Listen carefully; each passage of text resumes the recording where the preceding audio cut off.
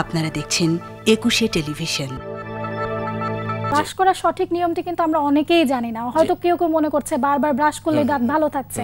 তাও তো না। আমি আপনার কাছে ব্রাশের কি নিয়ম আছে সেটি একটু জানতে ব্রাশের যে নিয়ম হলো ফার্স্ট হতে হবে যে গুণগত মানের একটা ব্রাশ এবং গুণগত মানের টুথপেস্ট ইউজ করতে হবে। ব্রাশটা হলো সফট হলে ভালো হয় আর প্রতি তিন মাস পর চেঞ্জ করা উচিত পরিবর্তন করা উচিত।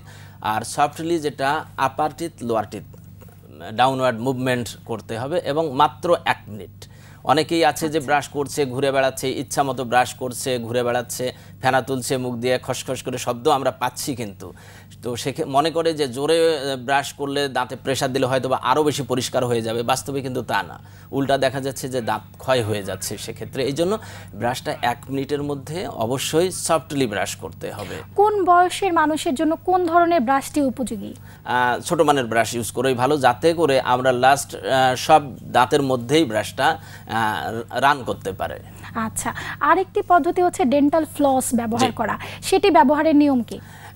সেটা ব্যবহারের নিয়ম হলো দাঁত ব্রাশ করার পরে যখন কুলি হয়ে যাবে ফাইনালি কুলি করার পরে এটা আঙ্গুলে পেঁচিয়ে জাস্ট এভাবে ক্লিন দাঁতের ফাঁকের খাবার খাদ্যকণটা বের করে ফেলতে হবে যাতে কোনো খাদ্য খাদ্যকণা আটকে না থাকে। আর খাদ্য খাদ্যকণা আটকে থাকলেই যত সমস্যা শুরু হয়ে যাবে দাঁতের। আচ্ছা আরেকটি ব্যাপার জানতে চাই যে মাউথওয়াশ ব্যবহারের নিয়মটি কি? মাউথওয়াশ কি একটি মানুষ দীর্ঘদিন ব্যবহার করতে পারবে নাকি নির্দিষ্ট সময়ের জন্য? না এটা নির্দি- নির্দিষ্ট সময়ের জন্য। রেগুলার ব্যবহার করা উচিত না দীর্ঘদিন সময়। রেগুলার ব্যবহার করবে বাট এক মাস ইউজ করে আবার গ্যাপ দিবে আবার ইউজ করবে আবার গ্যাপ দিয়ে এভাবে ইউজ করতে কত বছর বয়স থেকে মাউথওয়াশ ব্যবহার দশ করা দশ যায়? বছর পরে। এর আগে ব্যবহারে আসলে এর আগে ব্যবহার করার প্রয়োজন হবে না বাচ্চাদের ক্ষেত্রে আহ, উচিত না স্যার আমরা দাঁতের ক্ষয়রোগ নিয়ে কথা বলছিলাম। ক্ষয়রোগের রোগীরা কি ধরনের সিমটম নিয়ে আপনাদের কাছে আছেন? দাঁত ক্ষয় রোগীরা বিভিন্ন ধরনের সিমটম নিয়ে আসেন। যেমন ধরেন কেউ একজন এসে বলল যে ডাক্তার সাহেব, আমার দাঁতগুলো আগে অনেক সাদা ছিল। ধীরে ধীরে দেখ- দেখতে পাচ্ছি যে হলুদ হয়ে যাচ্ছে। অথবা কেউ এসে বলল যে, আমার এই দাঁতের কণাটা ক্ষয় হয়ে গিয়েছে। স্বাভাবিকভাবে বলে। আর একটা বলে যে, খাবার আটকে যাচ্ছে। অথবা কেউ এসে বলল যে দাঁত শিরশির করে। আগে শিরশির করতো না এখন দাঁতগুলো আমার শিরশির করছে। অথবা কেউ লাস্টলি আসলে ব্যথা নিয়েই আসে।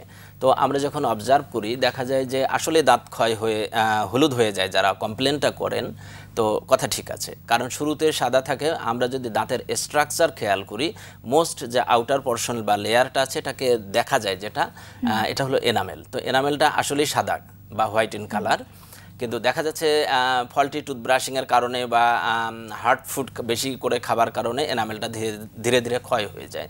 তখন ইয়েলো কালার দাঁতের যে সেকেন্ড স্ট্রাকচার এটা কিন্তু ইয়েলো ইন কালার যার নাম ডেন্টিন তো ডেন্টিনটা এক্সপোজড সেই ক্ষেত্রে।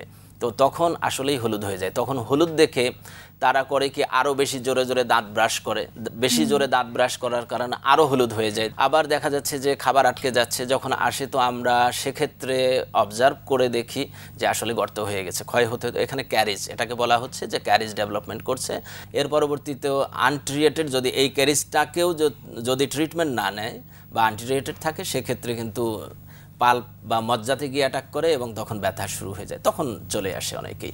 তো আমরা দেখতে পাচ্ছি যে দাঁত হলুদ হয়ে যেতে পারে বা ডিসকালার হয়ে যেতে পারে, খাবার আটকে থাকতে পারে এবং ক্যারিজ বা গর্ত হয়ে যেতে পারে। এগুলো দেখলেই বুঝব যে দাঁত ক্ষয় হয়ে যাচ্ছে।